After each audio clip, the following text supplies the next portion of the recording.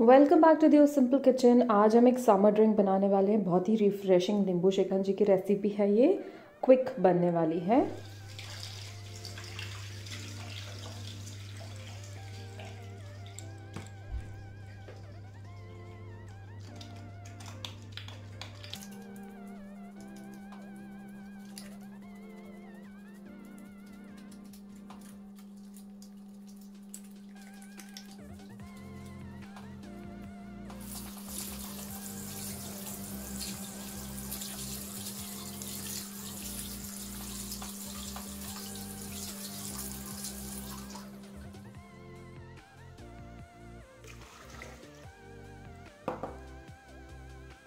तो जो मैं नींबू शिकंजी बना रही हूँ, वो मैं सिर्फ़ दो सर्विंग बना रही हूँ, दो ग्लास ही बना रही हूँ। तो मैंने दो ग्लास पानी ले लिया है ब्लेंडर में और अब हम डालेंगे इसमें शुगर।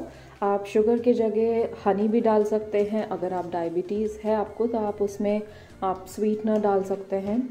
और to my surprise once I tried making it with jaggery और वो जैगरी के साथ भी बहुत अच्छा लगा था। अब मैंने इसमें डाल दिया है जीरा पाउडर। ये भुना जीरा पाउडर है। तो दो ग्लास पानी के लिए कम से कम तीन से साढ़े तीन चम्मच शक्कर, बड़े चम्मच शक्कर हाफ़ टी स्पून भुना जीरा पाउडर ये है coriander powder one fourth teaspoon से भी थोड़ा कम। अब मैंने डाला है इसमें चाट मसाला। सब कुछ मैं one fourth one fourth teaspoon डाल रही हूँ। सिर्फ़ जीरा मैंने हाफ़ टी स्पून लिया है, क्योंकि जीरे का स्वाद बहुत अच्छा आता है। और ये है हींग का पानी।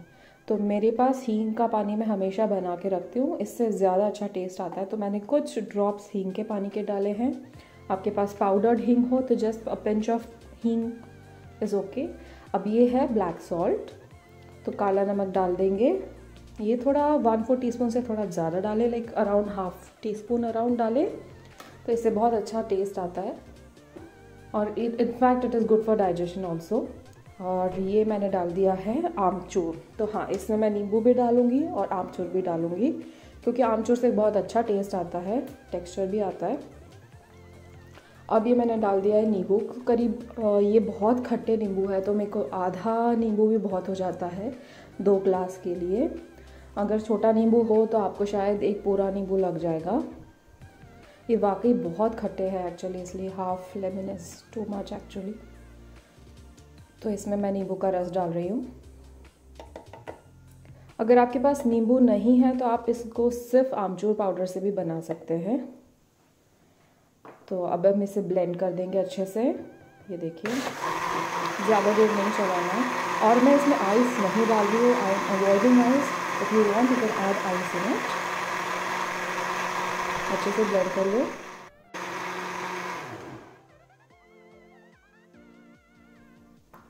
तो देखिए, अच्छे से ब्लेंड हो गई है। अब मैं इसको ओपन करके दिखा देती हूँ आपको।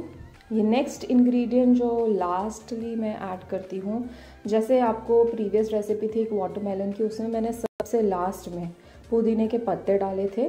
तो मेरे पास फ़िलहाल because of the situation fresh mint leaves available नहीं हो पा रही है। मेरे पास ड्राई मिंट लीव्स है। तो ये बस कुछ पत्ते एकदम छः या सात पत्ते भी बहुत हो जाएँगे। तो मैंने ड्राई मिंट लीव्स डाले हैं। आपके पास फ्रेश हो तो आप फ्रेश पत्ते डाल के फिर ब्लेंड करना। और पुदीना हमेशा लास्ट में डालना चाहिए। पहले डाल दोगे, ज़्यादा ग्राइंड होने पर पुदीना कड़वाहट दे देता है आपके ड्रिंक्स में या जूसेस में। तो इसको हमेशा लास्ट में आप करके देन ब्लेंडेड ये